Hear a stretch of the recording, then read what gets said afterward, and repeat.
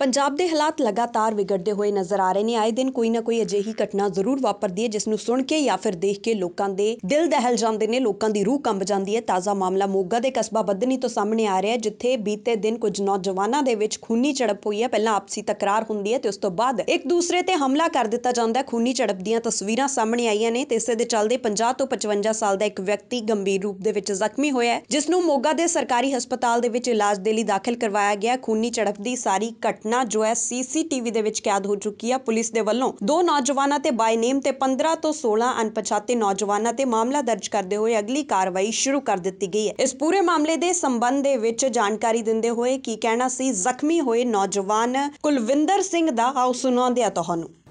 ਉਹ ਸਾਡੀ ਜਗ੍ਹਾ ਸੀ ਉੱਥੇ ਕੋਈ। ਉੱਥੇ ਉਹ ਮੁੰਡਾ ਧੱਕੇ ਨਾਲ ਖੜਦਾ ਸੀਗਾ ਉੱਥੇ ਆ ਕੇ। ਤੇ ਅਸੀਂ ਉਹਨੂੰ ਰੋਕਿਆ ਵੀ ਤੂੰ ਇੱਥੇ ਨਾ ਖੜ, ਵੀ ਤੂੰ ਜਾ ਆਪਦਾ ਘਰ ਜਾਂਦਾ ਇੱਥੇ ਨਾ ਬੈਠਾ ਕਰ। ਉਹ ਕਹਿੰਦਾ ਮੈਂ ਇੱਥੇ ਵੀ ਖੜਨਾ ਹੀ ਆ ਮੈਨੂੰ ਨਹੀਂ ਸੀ ਹਟਾ ਸਕਦਾ। ਚੱਲ ਮੁੜ ਕੇ ਉੱਥੋਂ ਫਿਰ ਕੇਰਾਂ ਧਮਕੀ ਦੇ ਕੇ ਮੈਨੂੰ ਕਹਿੰਦਾ ਮੈਂ ਤੈਨੂੰ ਦੇਖਦਾ ਆਉਣਾ ਫਿਰ।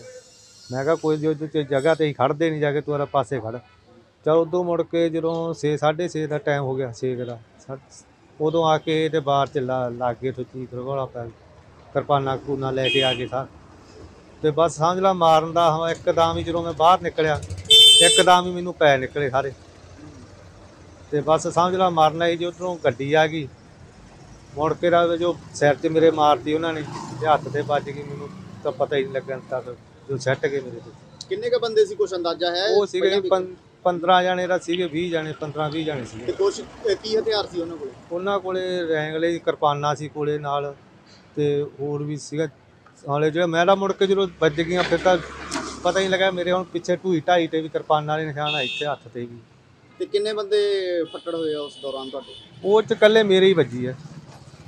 ਹੋਰ ਤਾਂ ਸਾਰੇ ਉਹ ਤਾਂ ਮਾਰ ਕੇ ਸਾਰੇ ਨਿਕਲ ਗਏ ਸਾਰੇ। ਉਹ ਇਕੱਲਾ ਮੈਂ ਇਕੱਲਾ ਸੀਗਾ। ਉਹ ਬੰਦੇ ਬਾਹਲੇ ਸੀਗੇ। ਉਦੋਂ ਬਾਅਦ ਪੁਲਿਸ ਨੂੰ ਆ ਇਤਲਾਹ ਤੇ ਮੇਰੇ ਬਾ ਘਰਦਿਆਂ ਨੂੰ ਵੀ ਪੈਣ ਲੱਗੇ ਸੀ ਅੰਦਰ ਜਾ ਕੇ। ਉਹ ਕਹਿੰਦੇ ਤੇ ਘਰ ਦੇ ਘੁਰਦੇ ਸਾਰੇ ਚੱਕ ਦੇਣੇ। ਦਿੱਤੀ? ਉਦੋਂ ਬਾਅਦ ਪੁਲਿਸ ਨੂੰ ਇਹਦੀ ਇਤਲਾਹ ਦਿੱਤੀ ਹਾਂ ਇਹ ਪੁਲਿਸ ਵੀ ਮੁੜ ਕੇ ਆਈ ਸੀਗੀ ਬਾਅਦ ਚ। ਪੁਲਿਸ ਵਾਲੇ ਜਦੋਂ ਮੇਰੇ ਸਿਰ ਪਾੜਿਆ ਪਿਆ ਸੀਗਾ ਫਿਰ ਮੈਂ ਦੇਖ ਕੇ ਉਹ ਕਹਿੰਦੇ ਮੈਨੂੰ ਹਸਪਤਾਲ ਲੈ ਜਾਓ। ਕੀ ਚਾਹੁੰਦੇ ਹੋ ਫਿਰ? ਹੈਂ। ਆਪਾਂ ਉਹਨਾਂ ਨੂੰ ਇੱਥੇ ਪੇਸ਼ ਕਰਨ ਉਹਨਾਂ ਦੀ ਕਾਰਵਾਈ ਕੀਤੀ ਜਾਵੇ ਉਹਨਾਂ ਤੇ ਕੋਈ